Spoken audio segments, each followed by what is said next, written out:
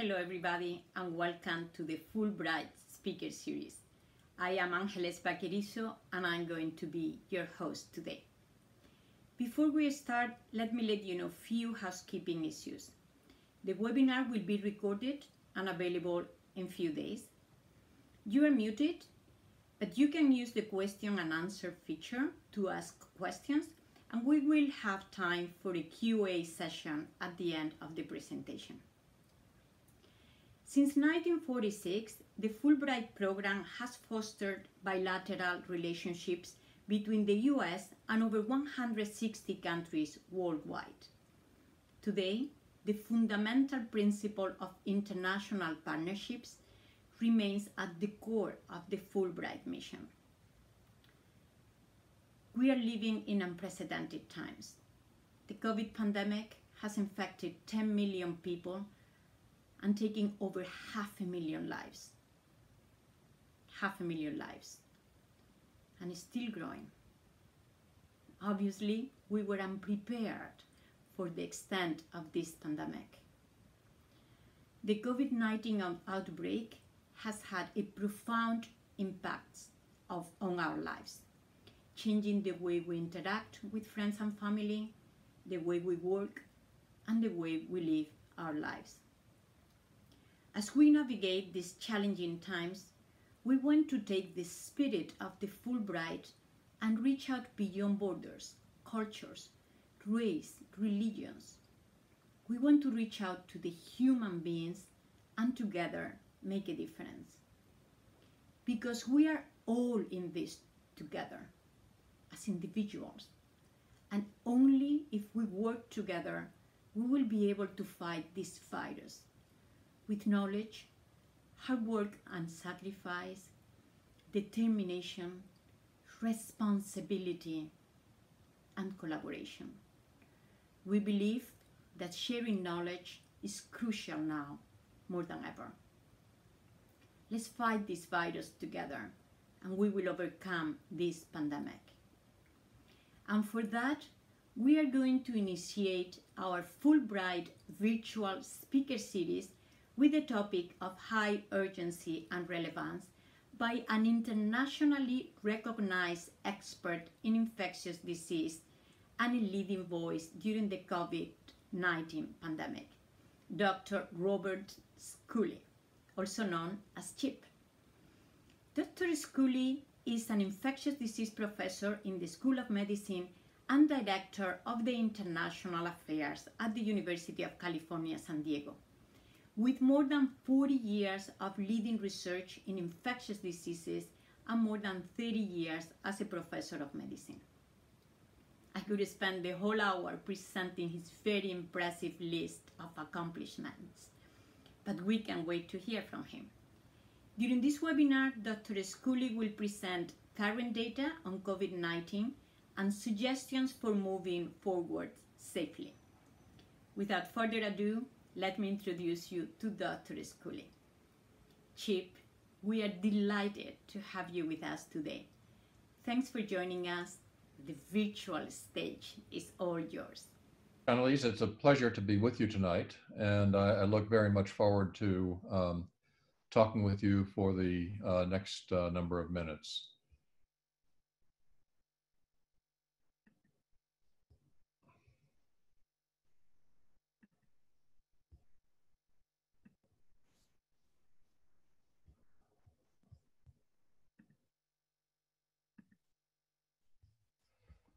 Tonight I'm going to talk about um, the SARS coronavirus. Um, I'll talk a bit about kind of how we got to where we are, but I want to focus uh, toward the end about uh, looking at what might be some lights at the end of the tunnel, uh, because we need to think uh, about how to get out of this mess we've gotten ourselves into.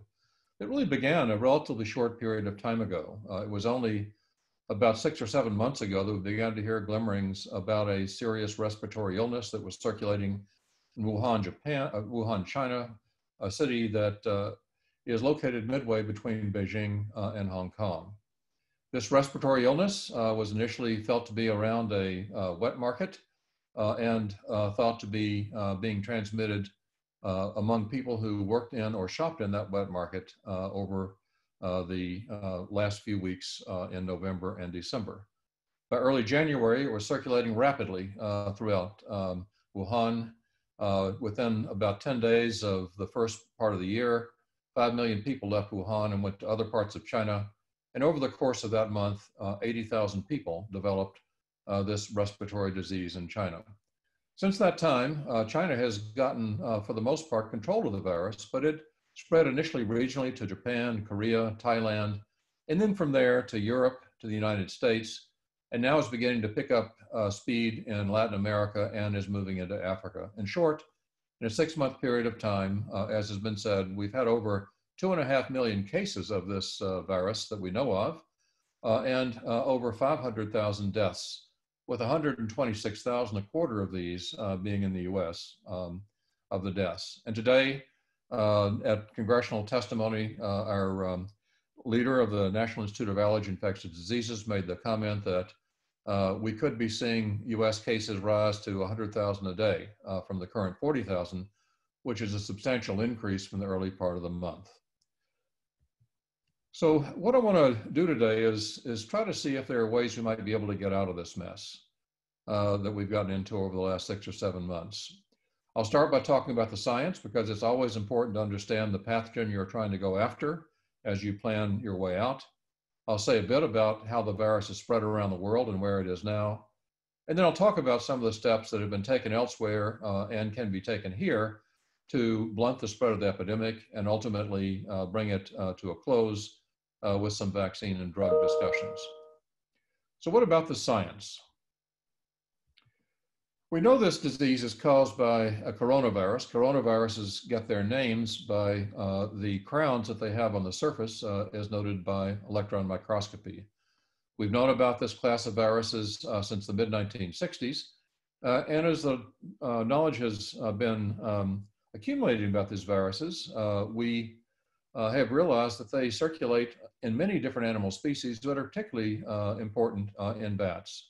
Bats serve really as a um, both a, a means for these, uh, these viruses to grow and mingle and interact with each other, and to be spread to other species, including humans. Uh, as we sit here tonight, uh, coronaviruses around the world are growing in uh, multiple bat species, evolving, recombining, uh, and finding ways to uh, spill over into the human population.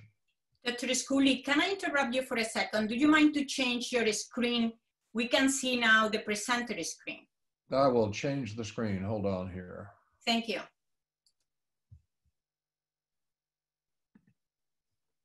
How's that? Perfect, thank you. Okay. So what we've seen over the course of the last um, uh, six months is the spread of this particular uh, coronavirus that I'll talk about in more detail and compare to the ones we've known about for a long time but it shares features with other coronaviruses that are very important. The most important feature is that it's an RNA virus.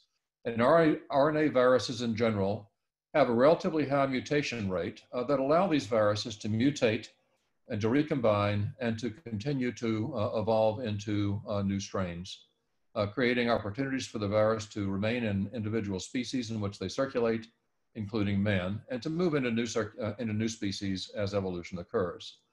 So this RNA virus uh, has, uh, as one of its key features, uh, spikes on the surface of the, uh, of the virus, uh, the tips of which define the species and the tissues in which the virus grows. The tips of these spikes are the binding um, domains that each viral particle uses to bind to the surface of cells that it can infect. Uh, in the case of humans, uh, this uh, coronavirus binds to the ACE2 receptor, which as I'll discuss in a minute, is present in the lungs and in the GI tract in particular. Now, the family of coronaviruses um, is in a larger family called nidoviruses, and the coronaviruses that uh, uh, we are dealing with now are ones that have only gotten into the human population over the last 20 years. Coronaviruses in general, by molecular archaeology, have been around in the human population for 800 years or more. The ones that have been around for the longest period of time are the ones that we live with uh, every winter uh, and cause uh, upper respiratory illnesses that last for two or three days, mainly the sniffles, and go away.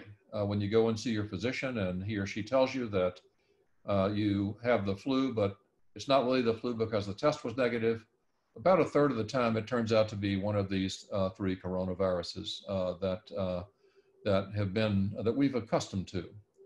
About 20 years ago, we began to see new coronaviruses beginning to emerge from uh, from bats into humans, sometimes through uh, intermediate species like civets, with the um, with the SARS coronavirus one that circulated in South China, Hong Kong, and got as far as Toronto uh, almost 20 years ago. The MERS coronavirus, which came into people in the um, in the mid, Middle East through camels about 10 years ago, and over the course of the last six months, the SARS coronavirus 2, all members of the same family, uh, each of which uh, have been uh, have presented with diseases in humans in which respiratory uh, symptoms are the primary manifestations. They've had differences in severity. The mortality rate with original SARS coronavirus was about 10%. The mortality rate with the MERS coronavirus was up to 40%. And this SARS coronavirus has a mortality rate which is a bit lower than these two, but it's much better at spreading around. Now, why is that? It has several features that really are ingenious uh, in terms of uh, being able to uh, get around the human population. Among the most important is that it turns off the innate immune response. The innate immune response is our first line of defense to any pathogen that comes our way. Innate immune responses uh, are general immune responses that don't need to know what the pathogen is, they just need to know that one is there. And these include molecules like interferons and cytokines. Uh, these are in general the things that make you feel bad when you have the flu. And what this particular coronavirus does is it evades this innate immunity by turning off the program uh, that produces uh, interferons and some of the other key innate immune molecules when the coronavirus is um, is encountered. This is some work by K.Y. Yuen from uh, Hong Kong University, in which he took normal lung tissue from healthy people that had been removed at surgery for other indications and challenged uh, the uh, lung tissues um, cultures with the original coronavirus, SARS coronavirus 1 in blue, the one that was here 20 years ago, and the current SARS coronavirus in red. And you can see that over time in culture, you begin to see interferons being produced in response to the original coronavirus, but not to this new coronavirus. What this means is that there is no uh, innate immunity uh, confronting this virus. It allows the virus to grow extremely rapidly. You can see here that the virus, if you look at the area under the curve, is growing about three and a half times as fast in these lung tissues as the original coronavirus species. And it's doing it with no symptoms. So what this allows the virus to do is to set up rapidly spreading infection in the lung without opposition that spreads up into the uh, nose and the throat at a time when the person is unaware of their infection. And when that happens, uh, you can see this is the, these are um, CT values, levels of virus uh, in um, by PCR uh, in the nasopharynx. You can see that at the time people show up, they've already been shedding virus for a couple of days. And over the course of a couple of weeks, the amount of virus in your nose and in your throat gradually declines. This is how the virus has been so successful. It's being spread by people who don't know they're infected. With the original SARS coronavirus, we were able to contain it over the course of about eight or nine months because whenever someone was found to be sick, they could be isolated. And by the time you isolated them, they hadn't really infected many people. In this virus, by the time you're sick, you've already infected several other people. And in addition, in this virus, up to 40 to 60% of people never have any symptoms at all. Now, what is the natural history of this disease? Uh, people are exposed to the virus uh, uh, in uh, usually by a respiratory route, as we'll discuss. Then over the next two to 12 days, the virus begins to grow initially in the lungs, uh, growing um, without causing any symptoms at all and without uh, shedding, uh, without getting to high enough titers to spread into the nose and throat. So people uh, in this period of time um, won't have symptoms. If you try to culture them for the virus, you won't find it. Uh, and uh, they then began to shed the virus from the nose and throat, spread it to other people. Uh, you can find it by doing nucleic acid testing during this period of time. And then after two or three days of this pre-symptomatic phase, they present with symptoms. Some people present with mild symptoms, and others may present with severe illness uh, and even present critically ill over a short period of time. And then over a period of four to six days, uh, people uh, um, usually get better, particularly if they present with mild disease. But people who present with more severe disease are more and more likely to go down this pathway of progressive respiratory failure uh, and uh, in uh, uh, a certain fraction of people uh, mortality. we know that this um, cascade that leads to death is more frequently seen in people who are older, and by this I mean people over the age of 55. Although uh, it does occur in people who are in, as early in their 20s or in teens, it occurs more often in people with comorbid conditions, uh, including uh, obesity, hypertension, other cardiovascular illnesses, pulmonary disease, including COPD and asthma, uh, diabetes, uh, and, and renal disease. The kinds of conditions that we accumulate as we get older.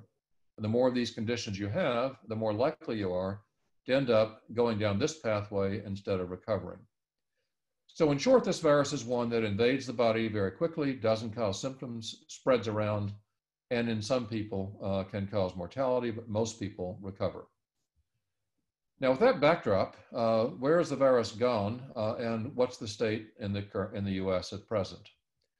Well, I've already made the point that the virus is spread rapidly around the world, uh, and um, right now the epicenter of the virus, of viral infection uh, in the world is the United States. Although over the course of the last several weeks, Brazil is giving us a run for our money, and the slope of the curve in Brazil may be even steeper than it was in the US. In the US, if you look at the uh, case rate uh, from the beginning, starting in early March, you can see a gradual uh, increase initially and then a steep rise that occurred uh, between uh, mid-March and early April. It was driven in large part uh, by New York and a few other cities.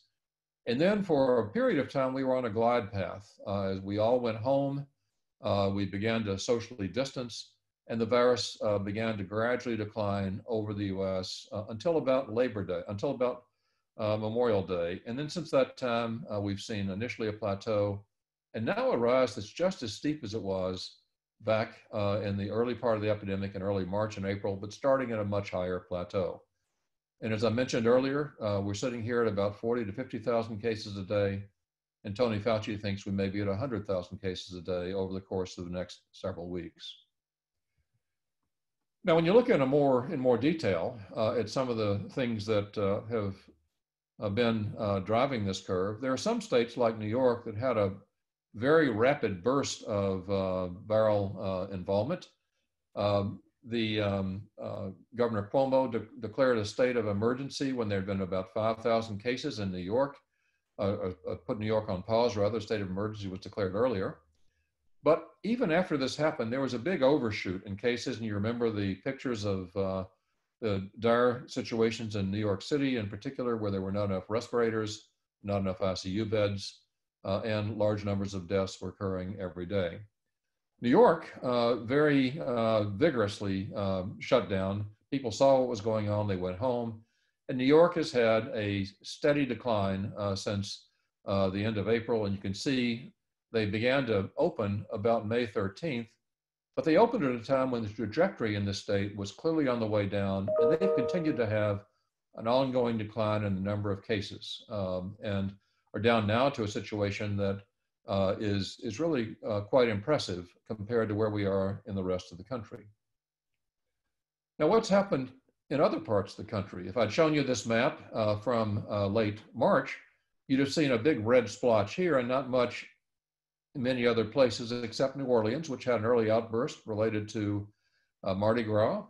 Soon things shifted to Atlanta, Detroit, uh, and uh, what's happened since that time is the virus has moved into the heartland of the country around meatpacking plants, uh, into Native American settlements and locations and also uh, into California and particularly into Southern California.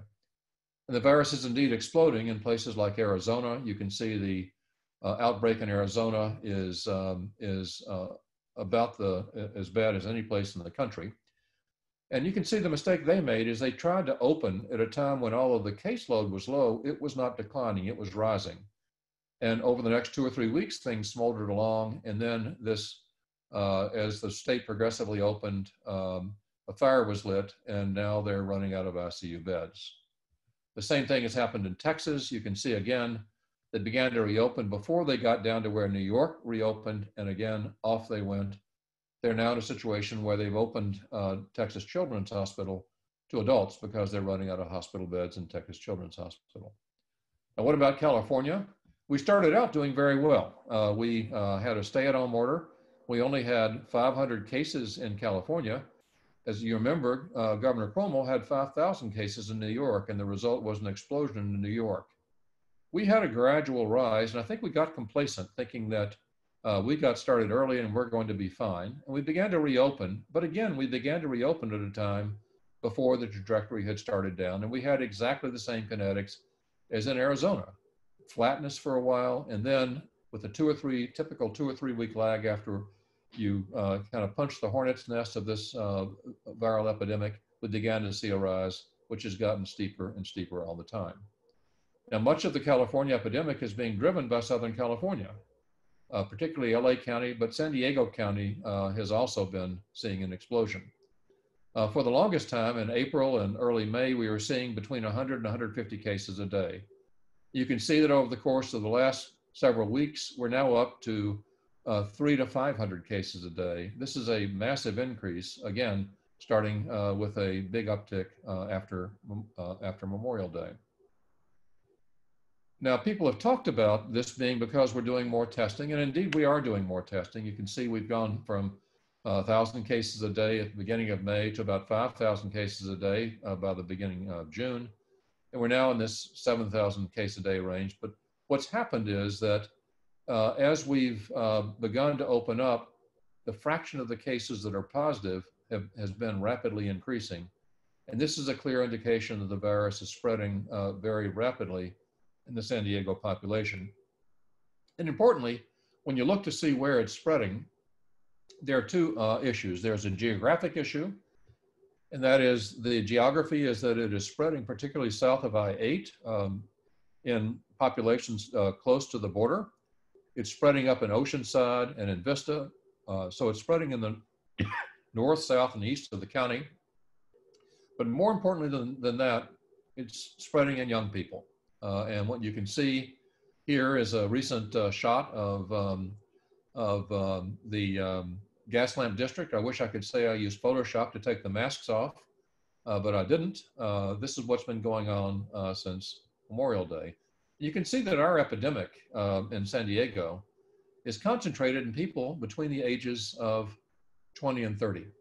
And that's very different from what was seen initially in China, where this histogram would have peaked in the 50s and 60s. Uh, this is particularly uh, ominous because the younger you are, the less likely you are to have symptoms. So what this means is if these are the people we're finding out about because they're having symptoms and being tested, we have a much bigger problem than is indicated by the number, the raw number of cases shown for you here.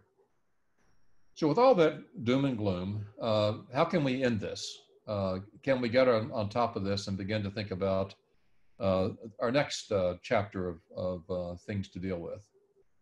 We basically have two different types of approaches with any infectious disease.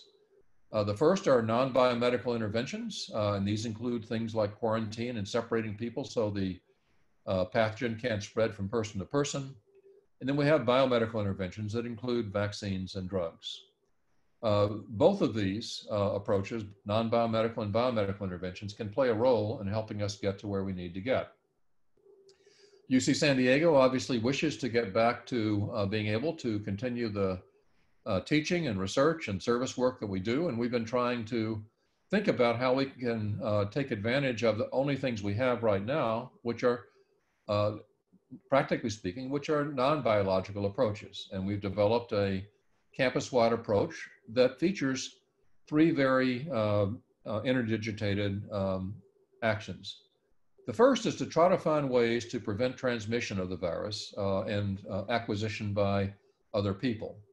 Uh, the uh, most, the, the biggest three components of this are to have people wear masks uh, whenever they're out of their homes, to try to limit density. So uh, by this on a campus population, we would be bringing back fewer students, for example, putting fewer students in individual dorm rooms, having smaller class sizes.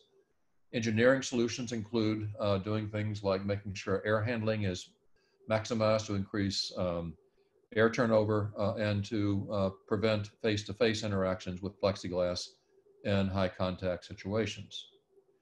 Um, SARS uh, coronavirus 2 detection is also very important because we want to find people who are infected and to get them out of harm's way so they're not exposing other people to their virus. And we're doing this by very uh, vigorously looking for cases in our healthcare system among our faculty, staff, and students so we can have them recover at home or if need be in the hospital setting.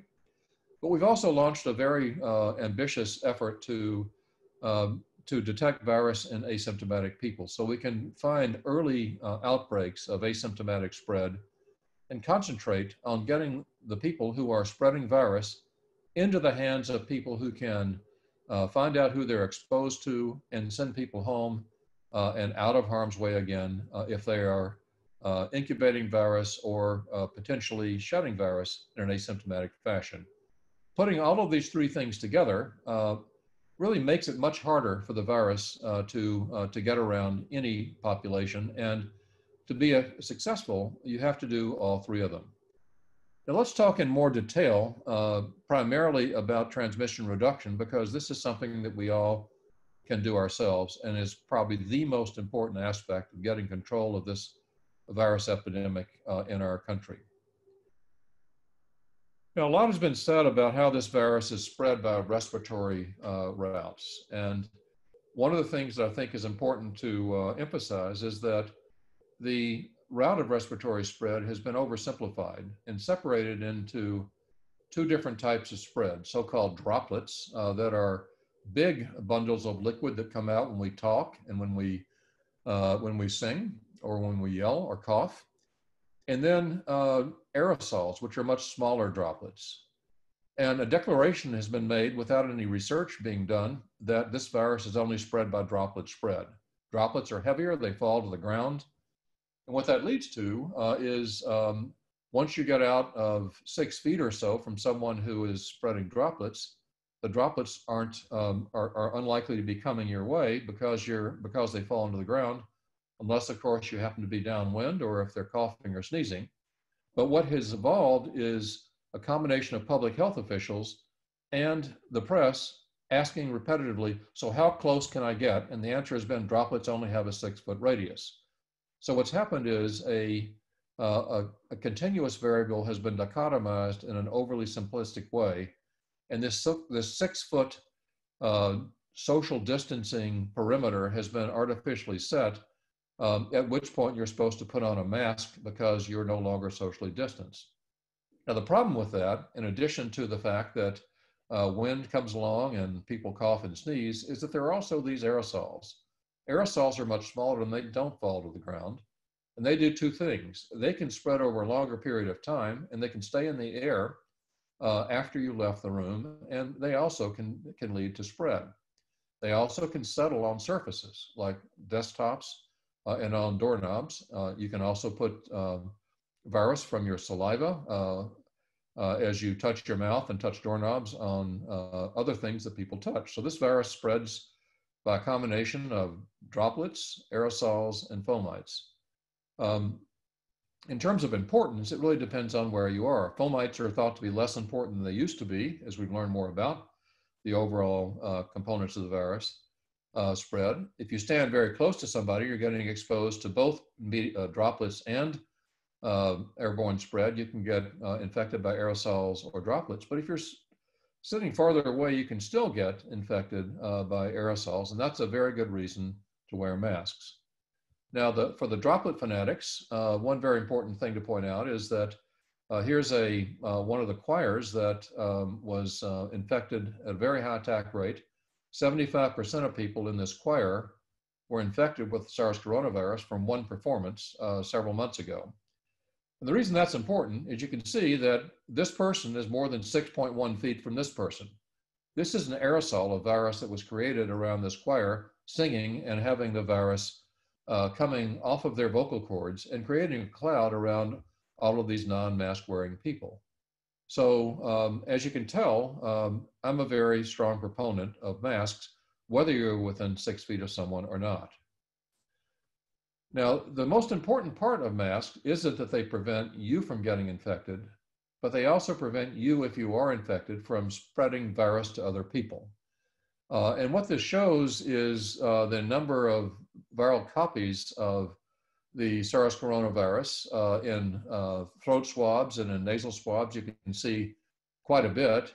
Uh, if you don't wear a mask and you're uh, just uh, uh, catching droplets coming out of somebody's mouth, you can see that there still are thousands of viral particles per sample.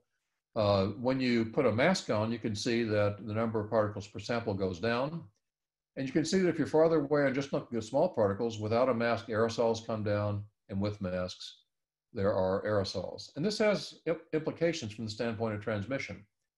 This is some very interesting work done by, again, by K.Y. Yuen and his colleagues at Hong Kong University, uh, in which he looked at hamsters uh, to look at the ability of surgical masks to prevent transmission uh, in a hamster colony. Now, although the graphic is nice, he wasn't really trying to get the hamsters to wear surgical masks.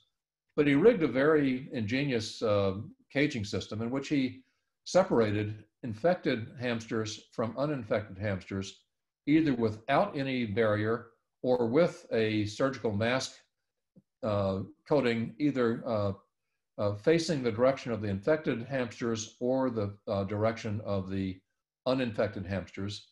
To make a long story short, masks decrease the infection rate in both directions uh, but they worked best if they were uh, if they were facing away from the hamsters who were infected.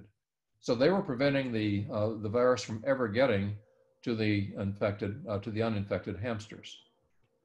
Translating that into um, into um, humans, uh, if you look at this um, this um, cartoon from a paper that was published in Science uh, last week, you can see kind of three different scenarios.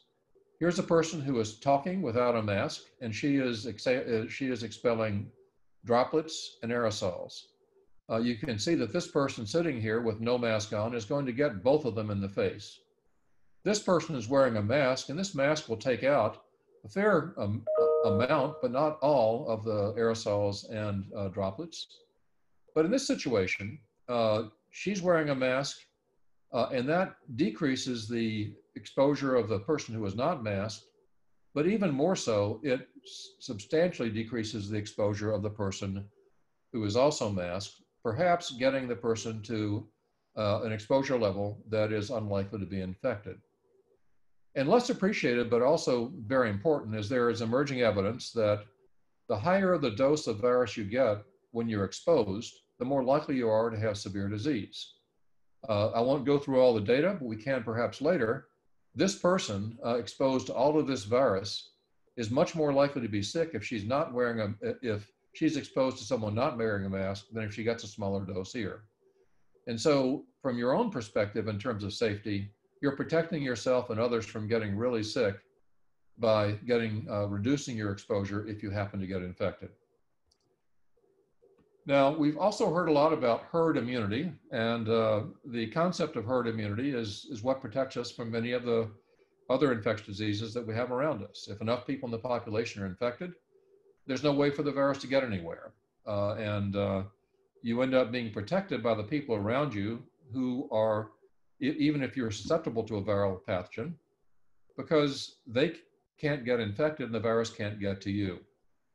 In the case of this virus, it's so-called R naught, which is the an expression that calculates the number of people you're likely on the average to, to infect if you're infected. The R naught in this virus is between three and five if you're just out in the general population.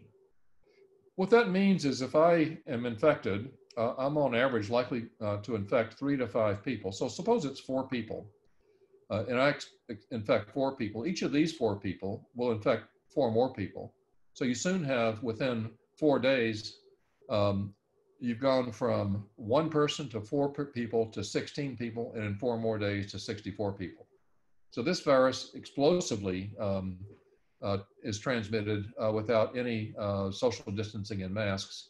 And what these do is they kind of throw a blanket over this and decrease the R naught uh, closer to uh, less than one. And when they get to less than one, what gradually happens is the virus dies out in the community. Now, people have said, why not just take the people who are particularly at risk for coronavirus, tell them to stay home, and we'll just get everybody infected and get done with it. Who's not at risk, they can have uh, the, a little bit of flu and they can go back to work after they're protected. And then the people who would really be sick if they got infected can come back out of hiding. Uh, the virus will be gone and we'll all be fine. Well, there's several different problems with this. First of all, is that uh, the number of people who are getting sick uh, and who are young is not trivial. Uh, we also are worried and beginning to see evidence that even young people who become ill can have substantial, longer lasting damage to their lungs after about a coronavirus infection. So it's not innocuous to be infected even if you're young, and we can't predict who these people will be. Secondly, um, young people and old people are exposed to each other. Uh, even if you stay home, somebody's going to bring you your food. Somebody in the family uh, is your grandson or granddaughter, uh, and there's no real way to um, to um, actively separate uh, efficiently enough separate young and old people. If you think about the uh, initial uh, explosion of the virus in the U.S., you could say, well, we had all the old people in um, in um, uh, nursing homes, uh, they should have been safe. Well, once the virus got there, it killed a lot of people. So uh, separating the older people is not feasible.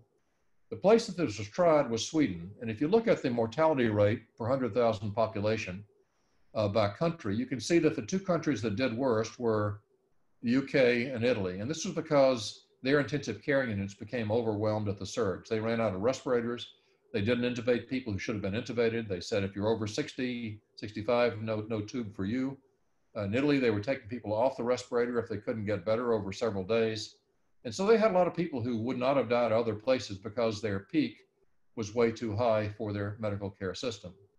Sweden tried this thing of, of telling the uh, older people to get home, to stay home, uh, and let the younger people get infected. And you can see they had the third highest death rate of all of them and they still only got to a, a level of herd immunity of less than 10%. So that um, the person who came up with this idea in Sweden has now said it was a mistake to try. The uh, instrument was too blunt to separate people, and they led they, it led to a large number of people who um, uh, died without generating enough immunity to protect them when they came back out. You can see uh, other mortality rates are lower, uh, particularly in places like the US, uh, where we have uh, better um, capacity. Uh, this part of this was driven by New York, uh, but where there is where there is good medical care and capacity, mortality rate should be nothing like what we are seeing here. So what's happened now? so we've been talking about non-biomedical intervention so far, and this includes masks and distancing, testing and isolation, these are the things that other countries have done to get control of the viral epidemic. And what this has done in many other countries is, essentially brought the epidemic uh, to a point that people can go back to work. And when there are outbreaks, uh, the outbreaks can be controlled by sending uh, public health um, contact tracers in, isolating people, uh, and then uh, ending that uh, little outburst and going back to work. What's happened in the US, this shows you the US. Uh, despite all of our efforts, you can see we're still on the upswing, and that's because we really haven't done the hard work of staying, um, keeping uh, the virus, getting the virus under good enough control before we went back to work, and before we went back to uh, to interact with each other. And the problem with all of that is that um, the virus has taken advantage of it, and we're having a curve that's just as steep as it was as earlier, as early on, but from a higher baseline. This is Brazil. You can see they're in the same boat we're in. No social distancing, no masking. Brazil is in a lot of trouble. But a lot of other countries have gotten it under control and are getting back to normal. Uh, we're now, uh, we have the distinction of being one of the countries that Europeans will not allow uh, us to visit because of the disparity in attack rates uh, in the US uh, and in Europe.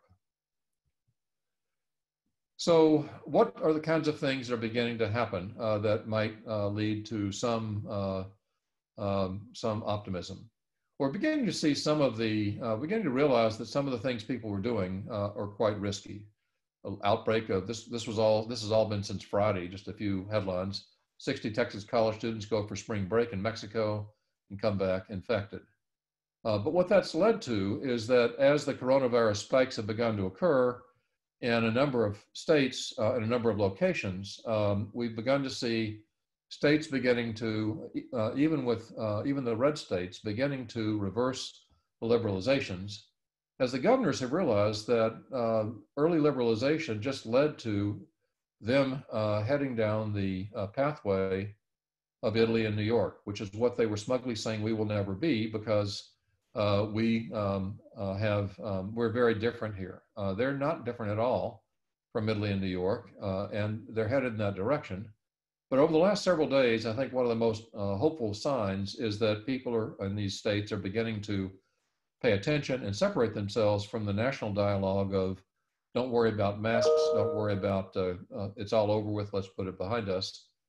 And if we see this leadership from in terms of the epidemic uh, that we have missed at the national level begin to be uh, responsibly led at the state level, we hopefully may begin to see uh, some more sustained impact on viral spread. Now, let me turn and talk a bit about vaccines because there has been a lot of discussion about we just need to kind of hang in there till we get a vaccine. When we get a vaccine, we can go back to school. When we get a vaccine, we can go back to work.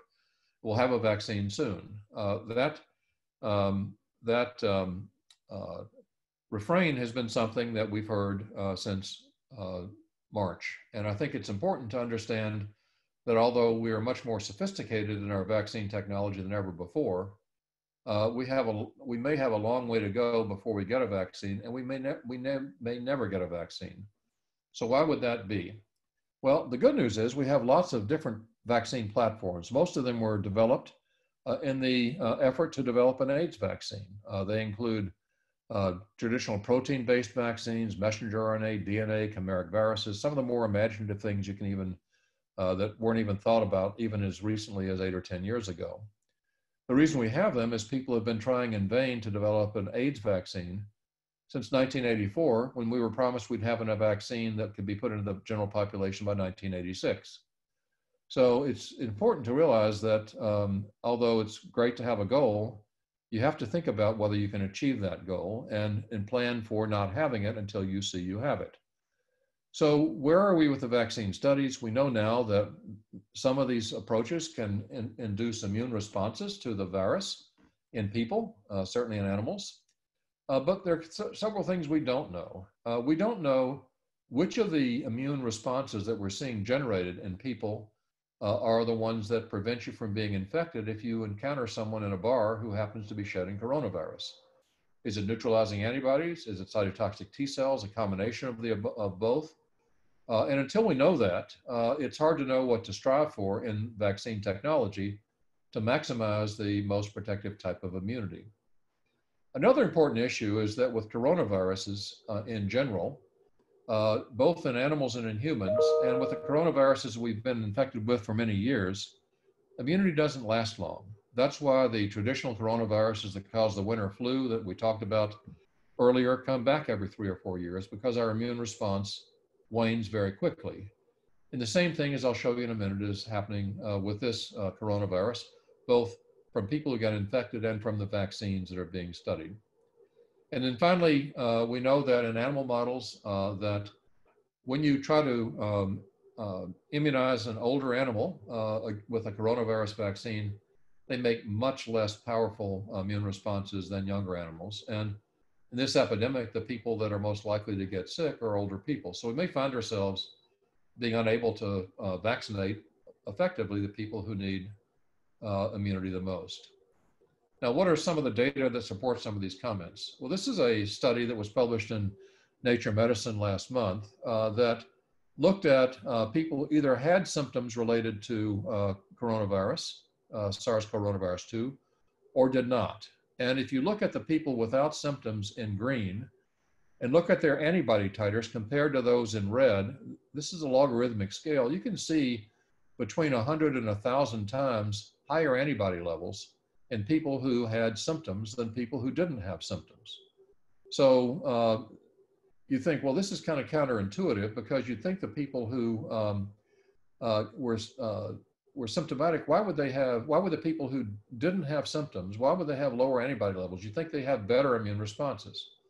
The reason for this is that those who had symptoms were exposed for a long period of time to a lot of viral antigen, and they generated strong immune responses eventually to control the virus. But it took a couple of weeks of very high levels of virus to generate this immunity. People with lower levels of virus who didn't have symptoms didn't need to develop much immunity, and so they didn't bother. And you can imagine that if you're just trying to stick a little protein in the arm and trying to get immune responses even as robust as people who are infected for a week and have virus replicating in their lungs and GI tract and other places, uh, we're likely going to have immune responses down in here. Now, when you look at what happens after they recover, this is back from this, uh, taking the same people and looking at them several weeks later, you can see that the decay in the immune responses is quite dramatic as well. Again, a logarithmic scale. And you can extrapolate and see where you're going to be before too long uh, with uh, antibody levels uh, or with neutralization. And again, a feature of other coronaviruses, and it makes you worry uh, about longevity uh, of immunity in people who have been infected. And that's important uh, from the perspective of uh, one of the things that people have been asking are you protected from reinfection if you've been infected already? My hunch is that at least for a while you will be, but that while will be variable. Uh, and uh, until we have some data in real people exposed to real virus in, in, in nature, in other words, in our cities, we won't know how long the immunity lasts or how effective it is.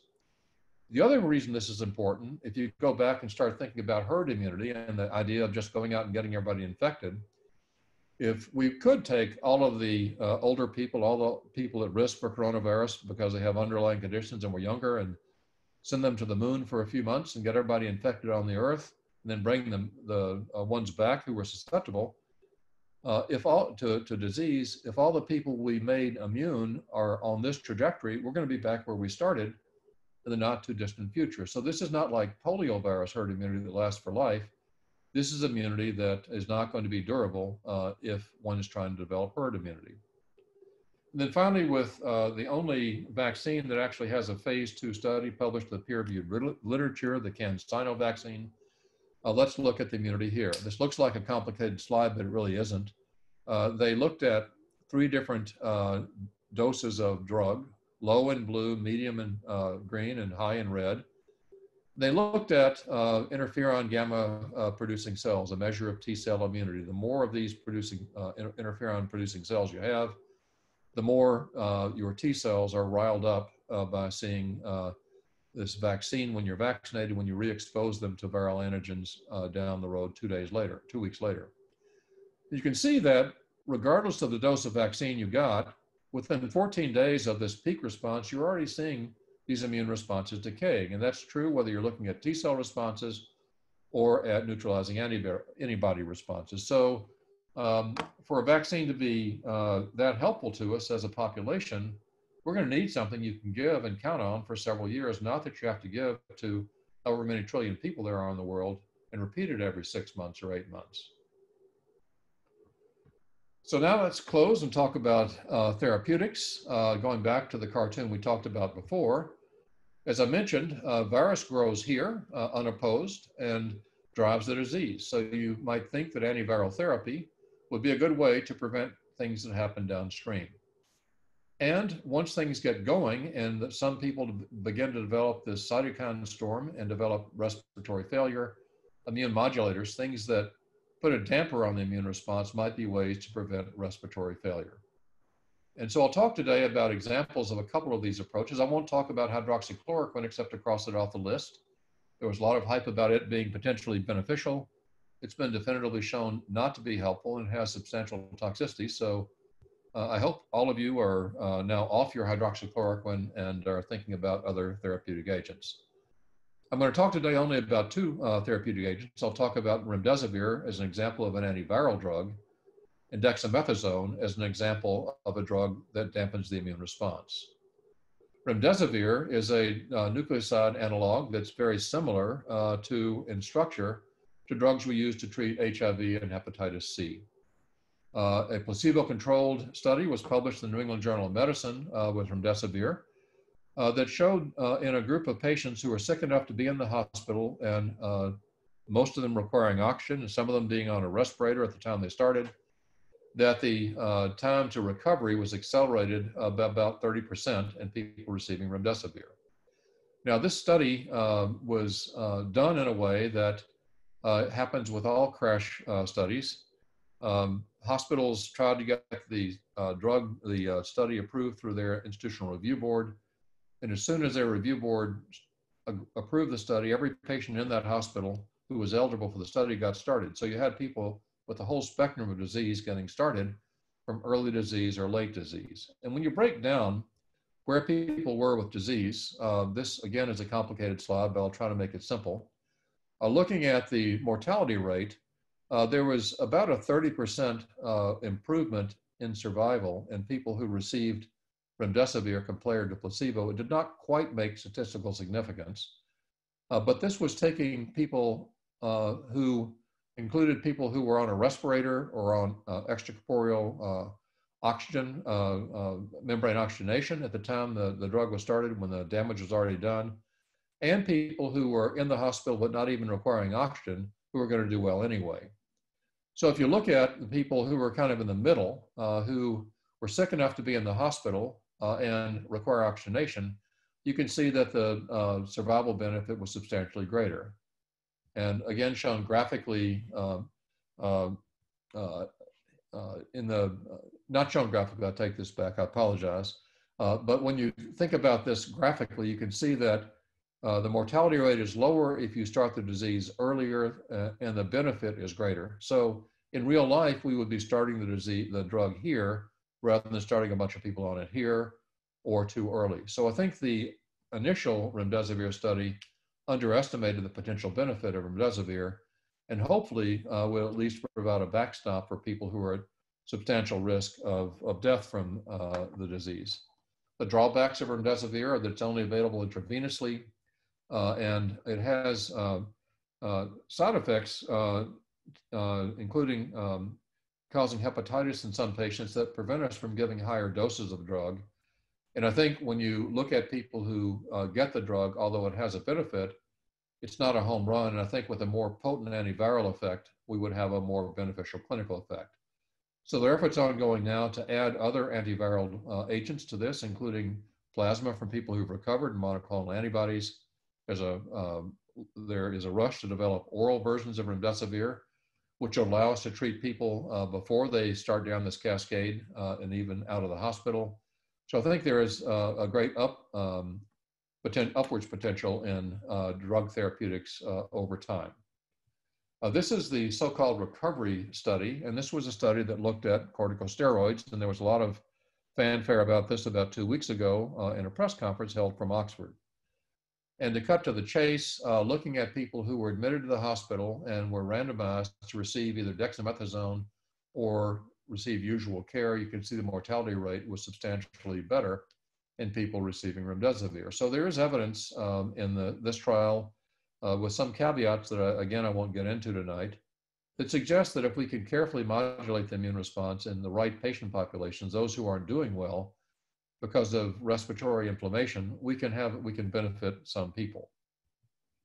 So now if we go back to our, uh, to our cartoon here and uh, start with where we've been so far, uh, we already have seen that um, non-biomedical interventions have had a big impact of the, on the virus and the rest of the world. We now uh, have evidence that uh, vaccine research is underway and we have drugs beginning to show an impact.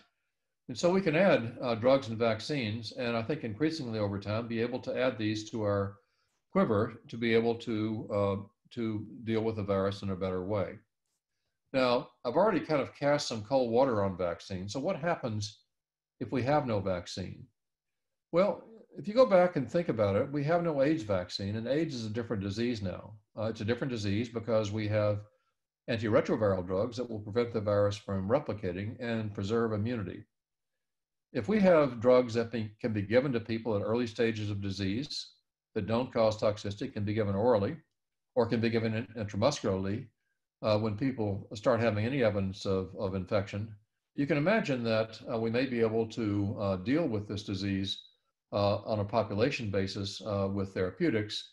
If we first get it under control by vigorously paying attention to what we've been hearing about from public health officials, uh, getting the overall incidence of the disease down with masks and distancing and, and less interaction among ourselves to a point that we have few enough cases in the population that we can then go in with testing and tracing and quarantine and root out uh, hotspots for the virus uh, using uh, drugs as a backup for people who slip through the cracks uh, we should be able over time to get back uh, to uh, life as we almost knew it, uh, even if we're not successful with developing a vaccine. Now, the reason I think it's important to think about it in this way is that um, if you have the mentality that, yeah, we're going to have a vaccine soon, people are talking about the fall, then your mentality is, gee, we don't have to worry so much about what we need to do to get back to business and back to work. We'll just, we can just kind of hunker down a little bit and then go back to whatever. But if you think about it, and we never get a vaccine, we're not going to have that luxury. We'll be in a situation in which we always will have to be looking over our shoulder about this virus coming back, and we're going to be much more in much more danger if we're running at this with a high level of virus in the community, and we haven't taken advantage of what we know to tamp the virus down and to be able to work, live in a community in which very little virus is shedding. So I'm happy to stop there and I'd be interested in any questions or comments anybody has. I've enjoyed this very much and uh, I hope we have a chance for some discussion. Thank you. Thank you. Thank you very much uh, for Dr. Schooley um, uh, for the excellent, eloquent, and informative presentation. And I think he deserved a virtual round of applauses. And we will proceed now with the questions and answers. Uh, do you want me to go through them, Dr. Schooley, or do you want to check? why, why, don't you Why don't you get started, and I'll get us off screen share so we can see each other again. Perfect. So one, the first one was today's New York Times has an article entitled "Most people with coronavirus won't spread it. Why do a few infect many?" That's a great question. And um, many infectious diseases are the same way. There's kind of a rule of 20% of the people with most infections, uh, uh, with 20% of people account for 80% of the infections. And it may be that there's some people who shed large amounts of virus, uh, much higher levels of virus than other people. Uh, with this particular infection, it may be that there's some people who, by virtue of how they talk, loud talkers, talk with their mouth open, uh, who uh, aerosolize virus off their vocal cords, create bigger clouds of virus around them. There may be people uh, who combine that with be, being in a larger crowd of people, so they have an opportunity to infect more people uh, at a time when they have more virus around them. Uh, and when you combine all of these, what you end up with is safety, um, not as much risk uh, most of the time, but in some situations, great risk. And that makes it very hard to be able to calculate what to tell people about. So, could I just go over to somebody's house for the night and share dinner with them? They look fine. Uh, when you just do it one, with one person, you're just taking the risk with that one person. But if you go to a backyard barbecue, you could be in a situation where one person in that barbecue is one of these super spreaders, and everybody in that barbecue, or almost everybody, becomes infected that was what happened in that church choir that I mentioned to you. There was a very famous outbreak of a super spreader uh, at a Biogen conference in um, in um, uh, Boston at the beginning of the epidemic, in which 80 out of 150 attendees became infected. So these super spreaders, um, probably for biological reasons and reasons of opportunity, because they happen to be in places indoors without masks, with a lot of people without masks, can um, expose many people in a short period of time to high levels of virus. Excellent. So there is another one. Why are we not producing concentrated COVID convalescent immune, immune globulin? that can be administered in a small volume by local intramuscular injection. This can be done in a very short time. And yes, I probably I think that you can answer that question. Well, there's a lot of work going on looking at whether passive immunity will protect people from, um, uh, will reduce disease. Uh, animal models suggest that it will have a beneficial effect if given at the right time. Uh, the um, K.Y. Yuen and Tom Rogers here uh, at UC uh, San Diego have studied in Syrian hamsters the uh, use of of um, plasma uh, from, um, in Tom's case, um, uh, antibodies from people who have recovered, um, monoclonal antibodies, uh, plasma from recovered hamsters, neutralizing antibodies will reduce the titer of virus uh, and will reduce uh, disease. So there's good animal model data that this is very beneficial. Uh, if it turns out that this form of immunity um, does prevent uh, disease, we need to then think about ways to produce it, uh, that it can be given conveniently. And immune globulin is one of those ways. At this point, we haven't, we don't have the proof of concept that uh, either monoclonal antibodies uh, or uh, convalescent plasma concentrated, uh, either unconcentrated or concentrated, can prevent ongoing disease in someone. There's a lot of work being done now with uh, high titer neutralizing antibodies uh, that are pretty broad in terms of the uh, strains of virus that they neutralize. And it may turn out that uh, if neutraliz neutralizing antibodies are successful, this will be a much more practical way to make large uh, numbers of doses of neutralization, neutralizing antibodies, than trying to collect it from many, many people and concentrate uh, neutralizing antibodies into in a pool uh, pools of uh, of uh, plasma from many people in hyperimmune globulin, and it may turn out to be safer. So, my own feeling is we need to first prove the concept, and then at the same time we're proving the concept with convalescent plasma, look with monoclonals, and then decide whether monoclonals or hyperimmune globulin is the way to go. Excellent. We have several questions regarding the mask. So let's go. The general public doesn't like to wear a cloth mask because they got hot. Their glasses, glasses fog up. So would wearing a plastic shield instead of a mask work just as well? Uh, plastic uh, shields help, but they're not as effective as masks because they don't prevent uh, aerosols from getting around the mask. They're just created when you talk. Uh, if you wear a um, um, a mask, you're actually getting things as they come right out of your mouth. If you wear a shield, uh, you prevent droplets from being projected directly at somebody, but they don't prevent aerosols from coming around you. Uh, Dr. Uh, uh, I suspect, operates uh, in a mask rather than a shield, do you not? And sometimes both. Absolutely. okay, another question is, um, this kind of similar. Are these studies only for surgical masks? What about uh, cloth uh, masks uh, where most people are using it? Well, there is a lot of work going on now to try to look at relative um, of efficacy of different types of um, of uh, facial barriers. The um, one that is most effective um, is the so-called uh, PAPR, which is a, essentially a respirator that you put over your head and wear around like a spacesuit. Uh, we don't use that in public. Uh, we used to use that in uh, in uh, Ebola virus days, uh, but the N95 mask, which is used in surgical settings, is probably the most effective. we don't use them in the public because there aren't enough of them to go around. It's not because they're as effective as traditional surgical masks. And by that I mean three ply cloth masks that you tie behind your head or around your ears. These are uh, about as effective as N95 masks, but not quite. Um, you have to be exposed to relatively large amounts of virus in pediatric offices when people try to do studies to show whether a uh, N95 mask is better than a surgical mask, but they are a little better, but not uh, not a lot better. When you get down to cloth masks, uh, they're not as effective as surgical masks. And uh, within cloth masks, having multiple plies uh, as opposed to a single level, and if they're cotton, having a dense weave, a large thread count, uh, increases the efficiency.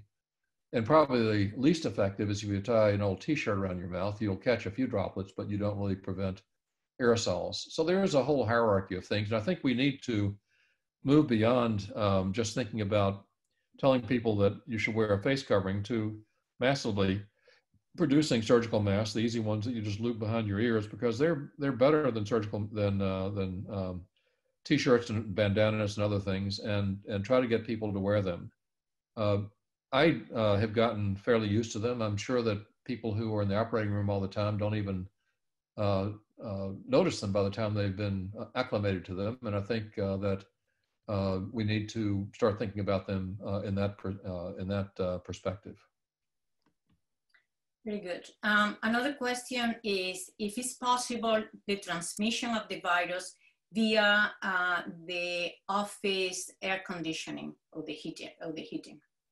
Uh, it would be hard to do that. Uh, the uh, viruses do, uh, as I said, you can have them aerosolized. Most offices, though, have relatively high efficiency filters. They create large numbers of air exchanges, uh, and um, you don't really have um, um, a lot of virus being spread like from office to office, high concentrations of virus, uh, even if you happen to have somebody in the building who's who's uh, shedding coronavirus. And if that person is shedding coronavirus but wearing a mask, you can imagine that the amount of virus that would get into the uh, air to begin with would be really quite low. Another one, how long does the virus survive in the aerosol con con uh, condition? Uh, there are a couple of aspects to that. One is, um, you know, how long the aerosols stay in the air, and that depends on how still the air is and how much um, um, uh, how, um, uh, how how the concentration of aerosols is, and uh, you could count on a couple of hours would probably be reasonable in a still room with a with a high inoculum load. You would like to know what New Zealand did so well to control the, um, the spread of the virus. New Zealand took it seriously. They, when they went home, they went home and stayed home. Nobody was out. If you were out, you got in trouble. And they have a geography that we don't have, which is a lot of water between them and anybody else. And they stopped letting people in. Um, and anybody who came in had to be quarantined. Now, the problem with screening at the airports and doing only that is that, as you remember, there's this two to 12 day incubation period during which time you're not symptomatic and you're not shedding virus. And anybody who arrives in that period is going to slide right through symptom screening. They're going to slide right through um, uh, viral shedding screening, and then they'll pop up with infection uh, a week later uh, when they've gone on to visit whoever they're visiting. And um, so, what New Zealand did is said if you're coming into New Zealand, uh, you have to be quarantined for 14 days and they put you, uh, lock you up in a hotel until you're past that time that you're likely to have active disease. And that coupled with their very vigorous contact tracing uh, and separation uh, has essentially extinguished the virus on the, on the island. So my hat's off to them. Um, another question, do you have any thoughts about what vaccine mechanism might have the best chance for success? Um, you know, I think neutralization will be very important. Um, the um, uh, most of the work that I did when I was younger uh, as an immunologist was with cytotoxic T cells. I think they may turn out to be very important as well in terms of preventing disease, um, uh, preventing disease after you get infected. They'll be, I think, less effective in in uh, preventing uh, acquisition of the virus. Uh, but I think we'll just have to see as uh, as we begin to uh, go out with vaccines that have different levels of different types of immunity and learn how effective they are when people start getting exposed to others who are shedding virus. Okay, if you, I think we are almost, will be almost the last one. If you do not test UCSD students every day, how can you stop infections on campus? Well, the um, if we uh, are finding um, cases on campus when we have uh, a small cluster of eight or 10 people, we can use our epidemiologic interventions and isolate those students and the ones they've been in contact with. And with a mathematical model that Natasha Martin has put together with Victor De Gruttola, uh, if we're able to test um, all the students and faculty, um, or even 70% of them once a month, we'll have a 90% chance of picking up uh, any cluster of virus that gets to be that large and be able to have Cheryl Anderson, our Dean of the School of Public Health and her team um, intervene, um, make sure that student or faculty member is getting the health care they need, and isolate them and their contacts and extinguish the outbreak. You're absolutely right. To catch any case, uh, even a single case, you'd have to test everybody every day. This unfortunately just isn't feasible. But if we get it down to a low enough level that we can circle around clusters and extinguish them, we can make the campus a safer place to be than, uh, than in the population in general. And just the last one, Is it is going to be really the last one. Have we measured immune memory in individuals recovering from inf infection? We've not done that yet, and it'll be interesting to uh, look at what happens when people who've recovered from infection are tweaked with some of the vaccines that are out there to see if they have uh, what amount to anamnestic responses that you don't see in people who are seeing the virus for the first time. That'll be a very important study, and that, that's a great question. So thank you very much, Dr. Schooley, for your time and your excellent presentation. And to you all for attending the webinar. Sorry we couldn't go to and answer all the questions. We will send you a link for the recording and let you know when we are going to have our next Fulbright virtual speaker series. Wear a mask, be safe, and thanks for joining us. Bye-bye, adios, ciao. Bye bye.